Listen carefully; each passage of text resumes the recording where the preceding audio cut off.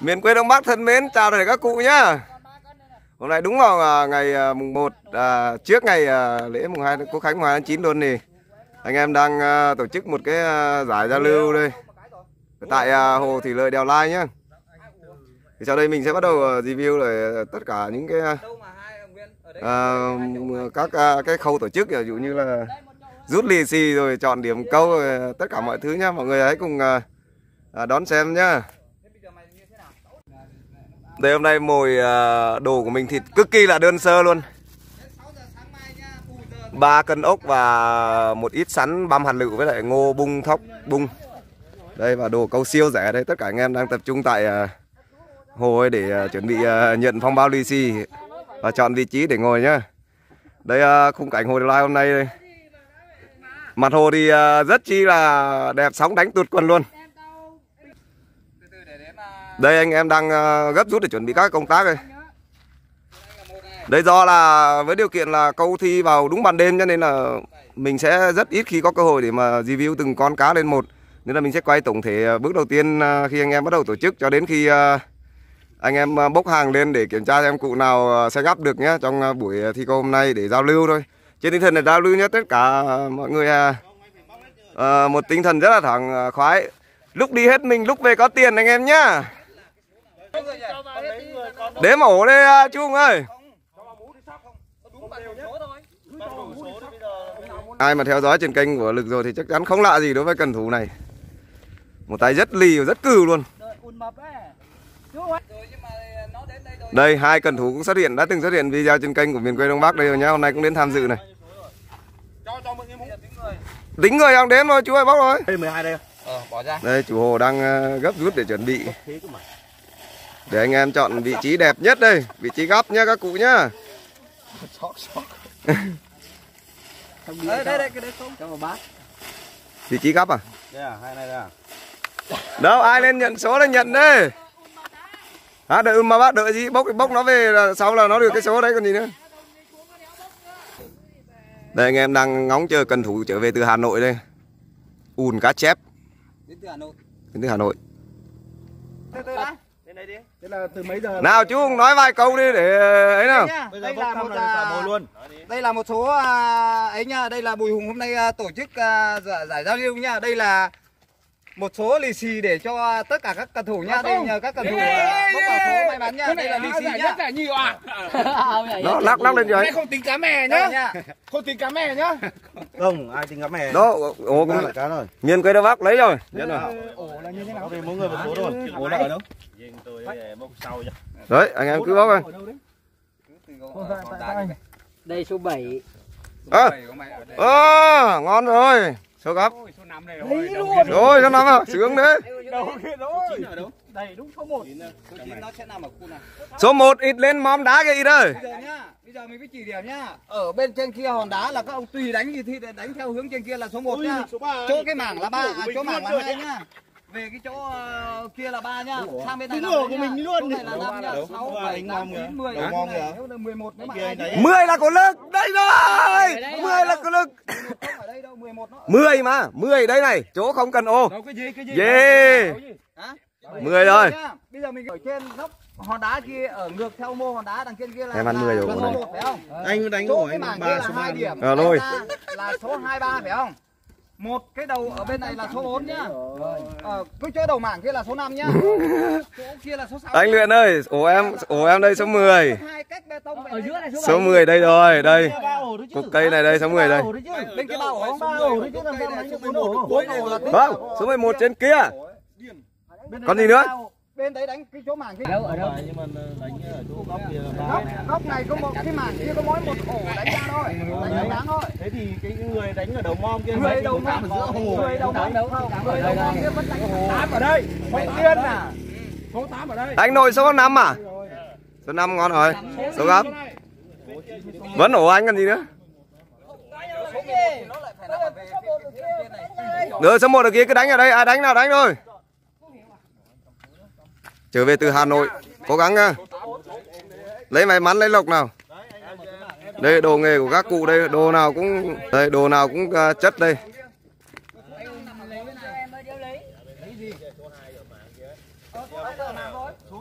Nào và toàn thể các cụ nhớ à, theo dõi trên kênh Mình Cười Đông Bắc nhá.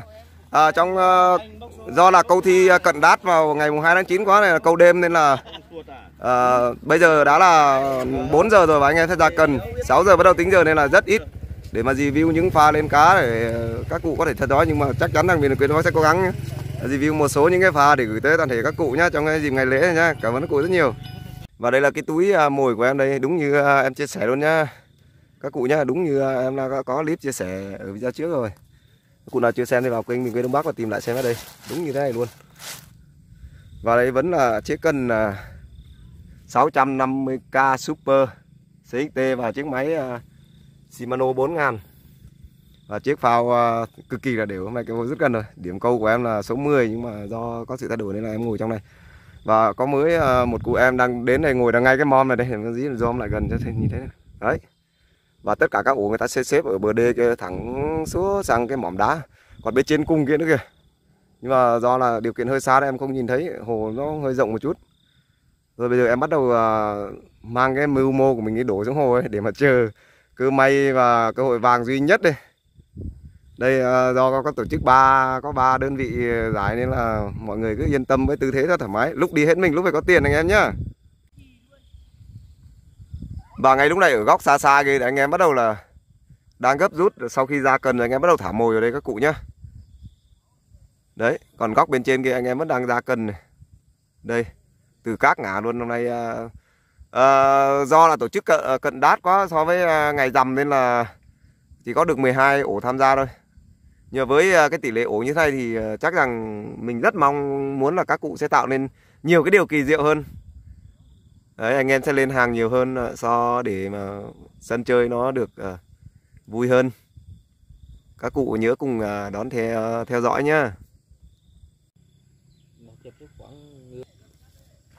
59 rồi nhá.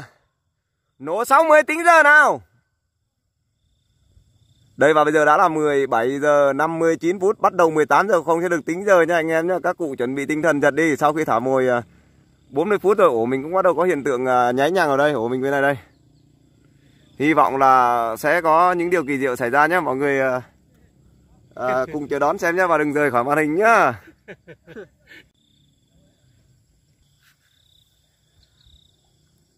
đây à, lúc này cũng nhá nhà em trời nhá nhà em tối ở các cụ vẫn đang kìa cái ổ ổ đằng góc cái kìa người bâu kìa. Ổ của nguyện hy vọng là sẽ gấp anh nội kia. Mọi người không nên ô nên nhìn cũng rất mình ngồi xa quá rôm rất chỉ là khó. Kia các ổ từ trên kia các thứ là người, mọi người ta không lên ô rất có nhìn luôn nhìn kỹ mới thấy đây này. Khán giả thì bầu hôm nay rất là đông luôn. Hy vọng là sẽ có những điều kỳ diệu xảy ra.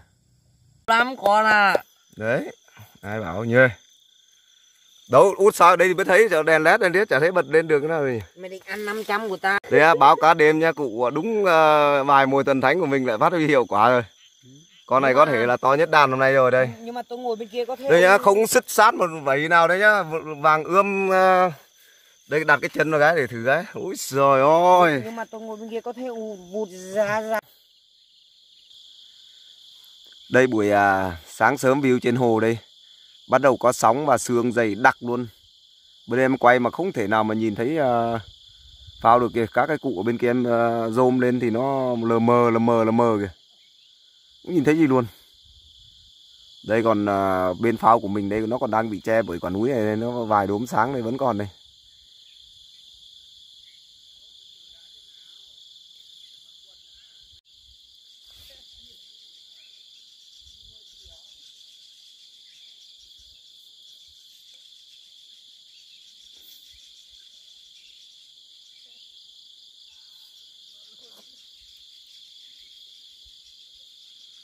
5 giờ 34 phút rồi. Những phút cuối cùng nào. Các cụ ơi, hồi hộp quá. Ừ? 10 phút cuối cùng.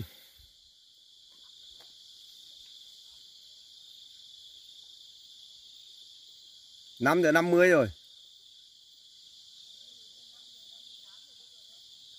Được.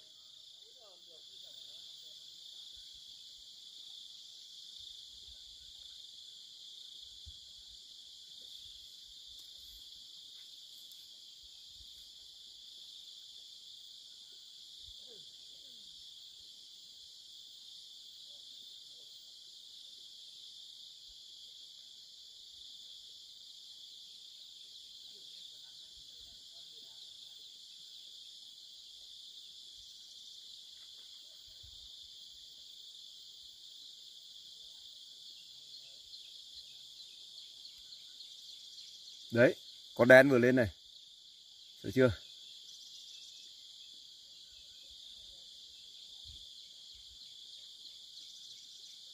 Đéo đè chứ mẹ con nặng thật.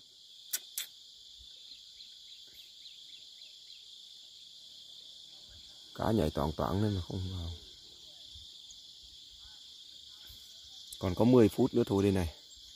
Không đến 10 phút ở đâu đây này. 5 giờ 51 rồi còn 9 phút nữa thôi. Cá thì nhảy đoàn đoàn này mà không đè là không đè. Mình chỉ được một con kia thì làm sao mà lấy giải nhất được.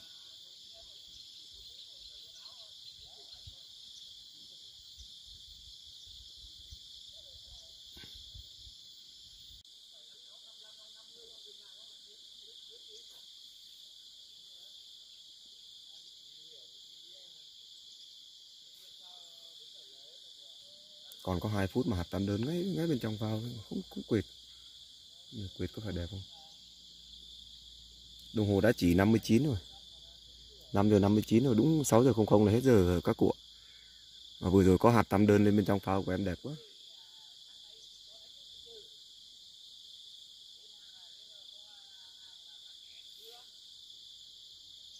Nào, còn những giây còn lại đếm ngược à các cụ.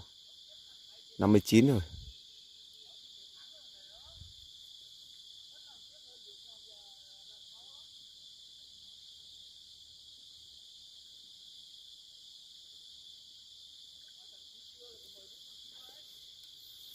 Chín rồi chờ nó nhảy sang không không nào nhảy sang không không chưa? Vâng và như vậy là chính thức à, giải giao lưu thi câu tại hồ thủy lợi đèo lai đã chính thức kết thúc vào khung giờ 6 giờ 00 phút buổi sáng. Và bây giờ mình sẽ đi review cho các bạn xem sản phẩm mà tối qua mình đã gặt được nhá. Đây cần thủ nghèo nhất vịnh bắc bộ đây. Có một mảnh chiếu rách này một chiếc cần à, 650k và một chiếc máy 350k và một cơ số những cái đồ rất chi là nghèo một đôi dép rách một cái ghế nhựa. Và đây là sản phẩm vàng bạc của em đây. Các cụ có thể nhìn thấy là một à, một con cá chép đẹp từng chi tiết đẹp từng cm luôn mà nó như thế này cơ mà. Các cụ vào xem. Đây vây lưng đuôi dài đây không một lốt sứt nào. Đẹp long lanh long lánh mẹ dâu dài như thế này cơ mà. Đây các cụ có thể thấy cá trong tình trạng là khỏe mạnh bình thường. Tối qua em uh, thực hiện uh, clip một mình nên em không không thể nào bấm máy uh, mà chạy được mà đêm sương mù quá em không nhìn thấy gì.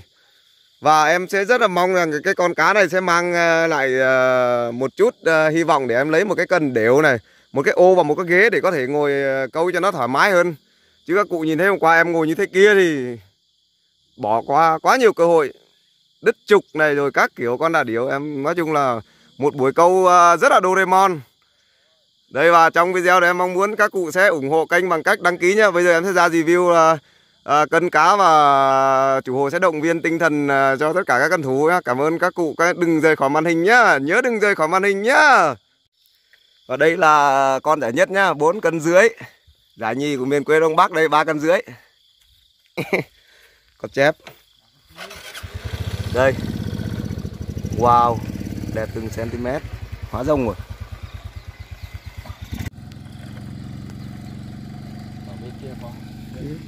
Con giải nhất này. Con giải nhất của thuộc về à, Khánh Luyện đến từ Ngọc Hội Chiêm Hóa. Và con giải nhì thì thuộc về à, miền quê Đông Bắc Đan Lực. Oh, chủ hồ đây rất là hôm nay rất là là, là, là vui và chủ hồ cũng đã, đã, đã gọi là tổ chức được cái giải thành công rồi. Có hàng để động viên anh em cần thủ tiếp tục uh, chương trình sau cố gắng đây mọi người vẫn câu tiếp tục hôm nay hồ lại còn nhà hồ chủ hồ lại còn uh, khuyến mại thời gian nữa chị Hùng nói vài lời đi Cảm ơn uh, cả nhà đã vào trong uh, fanpage của đoàn lực với lại uh, đoàn miền quê Đông Bắc nha. Hôm nay mình cũng tổ chức một cái giải thành công trong uh, buổi chiều hôm nay. Cảm ơn các cần thủ đã đến tham gia với hồ chơi ở tại hồ Đèo Lai, xã Phúc Sơn nhá. Xin uh, chào uh, cả nhà nhé. rồi cảm ơn đây và sau khi con cá uh, đi câu hồ em mang về nhà rồi em sẽ à, cùng chiêm ngưỡng lại nó một lần nữa à, sẽ tiến hành à, mổ nó để ăn Tết chăm này do đêm thi câu thì nó vào đúng đêm à, mùng 1 sang mùng 2 tháng 9 là ngày rằm năm nay nó lại chung vào ngày rằm mình sẽ cùng à, chiêm ngưỡng lại chú cá vẫn đang à, mang về nó vẫn đang khỏe bình thường mang trên hồ về ấy thì do hồ mình ở gần hồ nên là nó rất khỏe. Đang trong tình trạng bơi ờ, trong cái chậu rất là to đây. Con cá này thì nó cũng ngắn nên là nó có được có ba cân rưỡi nó chỉ khoảng ờ, uh, 60 phân. Vì cái chậu này là chậu 70 mà chậu to. Đây nó cá vẫn mang về bơi rất là khỏe. Đẹp mình ờ, đã đi câu uh, gần 10 năm rồi mà mình chưa từng được một con cá chép nào đẹp như thế này. Nên mình uh, cùng mọi người chỉ ngưỡng cái vây lưng của nó này, các bạn có thể thấy cái lưới liềm của nó này. Cái lưới liềm của nó. Rất là già luôn, con cá này nhiều tuổi. Đây là lúc nãy mình đút trong cái túi tráng nó bị sứt. Còn cái vây đằng trước nó cũng chia thành à, đây, nó chia thành, nó rất là to luôn nhé các bạn đấy nó chia thành à, cái chẽ của nó luôn và cái vây sau này, cái vây vây bơi ở giữa này. Nó tì đẹp lắm, con này tì rất là đẹp luôn. Đây là cái đuôi của nó này. Đấy, vàng óng. Đẹp từng cm luôn. Đây. Đấy còn cái cái mồm của nó này thì nó có xem dâu ria của nó sẽ như thế nào nhé đây nó bốn à, bốn dâu à. Đấy có cái dâu này nữa cái dâu này. Đây. Nó vẫn còn khỏe lắm nên mình cầm nó cũng khó đây này. Đấy cái dâu của nó cái mồm nó. Mồm đẹp lắm dày dày thịt mà chắc lắm. Sờ bóp nó cứng đét này. Cứng lắm. Cứng đét làm bảy này à, mình sẽ à, đánh riêng lấy cái à, món à, cái cái vẩy này để làm cái món à, vẩy chiên xù. Mình sẽ thực hiện clip vẩy chiên xù vào tập sau. Đấy, quý vị cùng đón theo dõi nhé. Đây mình ngắm lại một lần nữa thật sự đẹp. Trong nghề đi câu nó cũng chỉ ba cân dưới nhưng con này nó nó nó cá chép ta ngày xưa ấy, đúng cá chép ta luôn. Hả? Đấy cá chép ta ngày xưa luôn đấy, chứ không phải là là con cá chép lai bây giờ, nên là cái loại này thì nó không không lớn lắm. Nếu mà cá chép lai mà 7 8 cân thì nó cũng ờ, không có cái hình thái đẹp này đâu. Con này ừ, người ta hay có câu cá hóa rồng hình như nó mang trong bụng trứng hay sao mình ờ, lát mình mổ, mình sẽ kiểm tra nhé. Hoặc là ăn mồi của mình nó cũng có thể. Mình đang đoán vậy thôi. Đẹp quá. Thật sự mình ờ, đi câu rất nhiều nơi rồi và ở hồ đèo lai thì nó luôn có những con cá nó ngon thế này. Cá lưu cứu từ nhiều năm nay rồi thấy đẹp quá. Mình cũng uh, tiếc lắm nhưng mà hôm nay ngày rằm rồi mình cũng không có uh, gì nhiều để làm cũng phải làm món cá này. Để mà thưởng thức uh, chính cái thành quả của mình ngồi cả một đêm hôm qua. Đẹp quá mình ngắm không biết chán là gì luôn. Thật sự ở hồ này thì rất đã lâu lắm rồi không ai câu được cái dòng cá chép như thế này nữa đấy cá chép ta luôn nhá không phải con con lai bây giờ đâu. Các bạn nhìn cái vây đuôi của nó bơi là các bạn biết rồi. Đấy, đấy nhìn nó bơi bơi rất khỏe mạnh bình thường luôn đây. Đấy.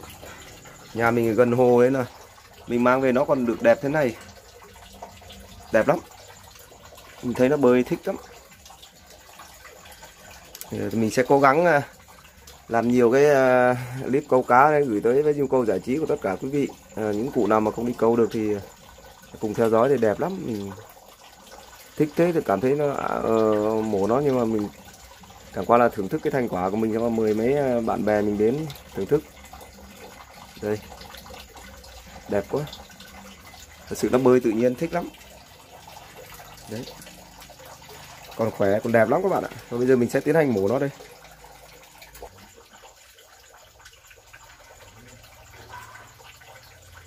Đây mình sẽ tiến hành mổ cá nhá. Ôi dồi ôi, yêu mày thế. Thế này cơ mà, yêu thương thật. Ôi dồi ôi. Không biết làm nào được bây giờ. Thành quả vất vả cả đêm rồi, bây giờ phải mổ về ăn thôi. Ôi dồi ôi, đẹp thế này cơ mà. Thương nó quá. Ôi dồi ôi. Con cá này xem cứa nào. À đánh vẫy trước, đánh lấy cái bộ vẫy trước để à, để làm cái món mai làm cái món trên su này không bỏ ra đâu. Thì ta phải đặt vào cái mâm mà đánh. Đặt cái mâm. Đặt vào cái mâm để đánh đánh lấy bộ vẩy. Đây mình sẽ đánh lấy bộ vẩy trước đã. Rồi đẹp thế này. Ui dồi ôi ui dồi ôi. Ui dồi vẩy dài thế. Ui dồi ôi. Không đánh được đấy ui dồi ôi cái này lục mà không sắc ăn nếu mà quật vào đấy nó còn không còn không ấy được cơ đây này mỗi cái vảy của nó này. Đây này các bạn nhìn thấy những cái vảy này to này. Cái ngón tay của mình không là cái gì luôn cái vảy này mà. Tiếp luôn. Đấy. Ôi dồi ôi. Ôi dồi ôi.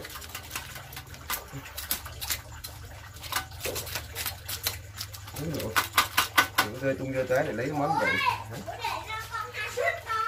ờ để con hai khúc to á. Lui vậy của nó đây sướng chưa ơi?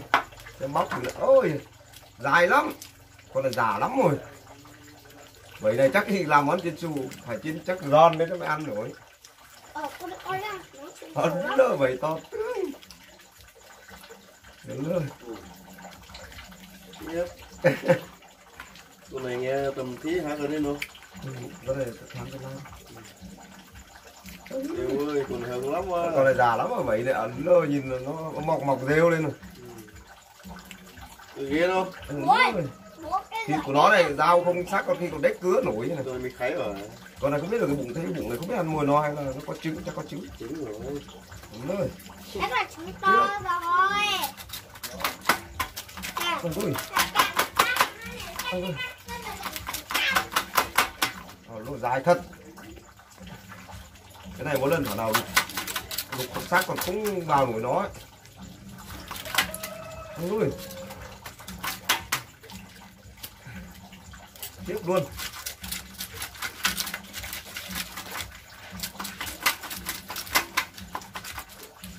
ui, Tiếp những cái vẩy to. Con dao này còn không đánh nổi vẩy của nó. Thôi lấy đủ con khác. Đây là nó vẫn còn vẫn còn nói chuyện này. Nó khá.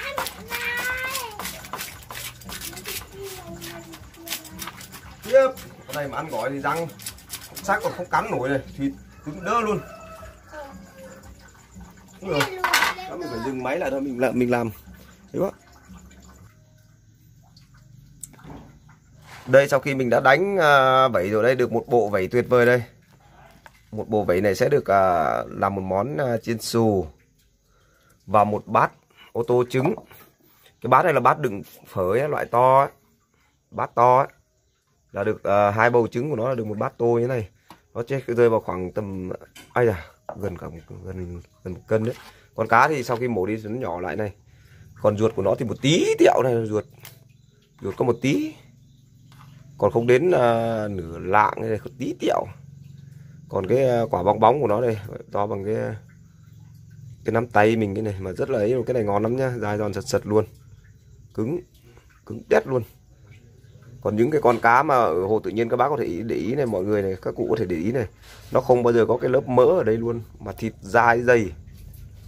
Đây, con này thì nó đang à, nó đang có trứng nên mình chỉ được bộ trứng là nhiều thôi, còn riêng cái thịt của con này nó sẽ kém đi nó sẽ nó sẽ mỏng thì đi tại vì nó nuôi ờ, đang nuôi cái trứng này. Thì nó sẽ kém đi nhưng mà cái các bạn có thể nhìn thấy cái quả bong bóng của nó này. Hùng hồn nó như vậy là tận dụng được hết. Cái ruột nó to này tí mình cũng ken nên mình lấy luôn này. Ruột nó to tướng bằng cái ngón, út này thì lấy được. Chỉ bỏ duy nhất là cái mật này thôi. Đấy cái mật của nó đây. Cái mật của nó to thế này bà loa luôn. Đấy thế như vậy là sau khi con cá mình đã mổ ra rồi mình cũng kiểm tra rồi con cá ở hồ tự nhiên nó nhìn nó không bao giờ có cái lớp mỡ nào đấy hết đây bạn nhìn thế này. Đấy, đẹp, thịt, dai, chắc. Đây là mổ rồi mà vẫn còn sống đây này. Vẫn nọt nạp đây đấy. Đây, sản phẩm đây. Được rất rất được thành luôn. Tuyệt vời luôn. Đấy. Đấy, nó vẫn còn sống này. Mổ ra rồi, mình chỉ moi cái tim ra, nó vẫn còn sống. Nhá, cảm ơn mọi người đã theo dõi clip nhá. Mình à, sẽ review lại cái duy nhất cái món chiên xù mình kết rồi còn cá thì mình sẽ mang đi chế biến để nướng. Cảm ơn tất cả các cụ đã theo dõi nhá. Nhớ à, ủng hộ kênh để làm nhiều clip hơn bằng cách đăng ký kênh. À, để ủng hộ kênh có kinh phí để làm à, nhiều video câu rồi chế biến các món ăn tiếp theo nhá. Cảm ơn các cụ rất nhiều. Thân ái chào tạm biệt hẹn gặp lại clip sau.